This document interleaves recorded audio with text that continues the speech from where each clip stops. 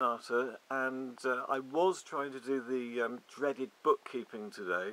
And needless to say, just as my blog that I put on the Murphy's Magic Community website this morning stated, I would get that famous phone call, Hi Mike, will you open up for me? So I have, and here I am back in the shop again, and this time I'm with Collin Richardson. Now Collin is the organiser of the Southern England Magic Convention. So I've got him here now, and I'm going to take advantage of him. Oh, I say.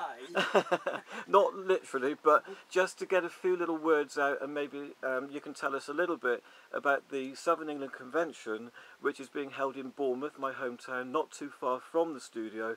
Uh, next January. So, how would you like to uh, sort of just mention something to do with the convention? Collin? Well, the uh, Southern England Magic Convention um, is in Bournemouth. It's on the 30th of January 2011. Uh, communications. Um, we're hoping it's going to be a very successful convention and a little bit bigger and better because we learnt lessons after the first one. And obviously, we are looking at uh, 2012 where we where we're going to get even bigger, hopefully.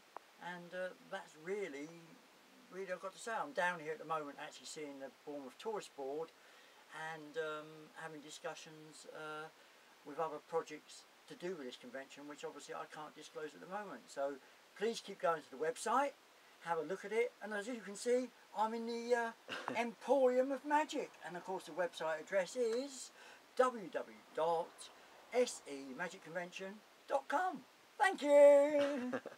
Thank you, Collin. Thanks very much. Have you incidentally joined uh, the Murphy's Magic Community Forum yet or not? Yes, I, I have actually joined uh, Murphy's Magic Forum and uh, also my wife has and to be honest I think it's going to be a very successful forum and I think a lot of the other forums out there might be quite worried about this massive forum that's going on and well, I really feel that it's the right move for magic as I did myself with the convention. Right, I don't, I, don't, I, I personally don't think it's going to affect the other forums too much. I think there's room, uh, like there's room for all the conventions, there's also room for all the forums, and some people will probably prefer one to another.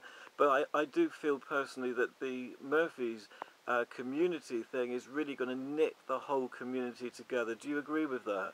I do, and I think what they've done at Murphy's is that basically that they've done what I did with the first convention and taken forums into the 21st century. And Excellent. I look forward to it expanding in the future. Okay, thank you very much, Collin. Thank you. Bye-bye.